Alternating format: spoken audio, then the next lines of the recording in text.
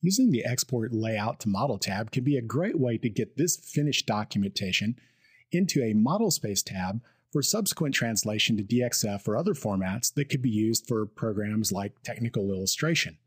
How do we access this? Well, we simply go to the Layout tab in question and right click.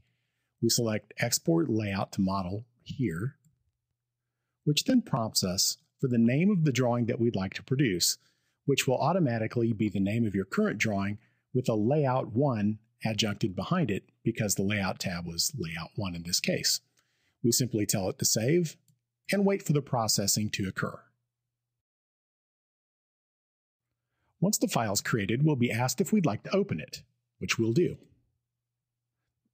The geometry will come into a Model tab, and you'll notice by way of a quick listing that all these objects are grouped as blocks.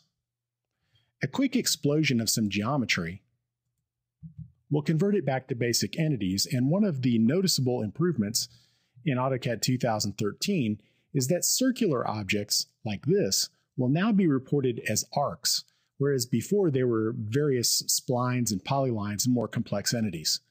So this means the export layout to model function in AutoCAD 2013 produces tighter geometry that's easier to locate on with tools like Object Snaps.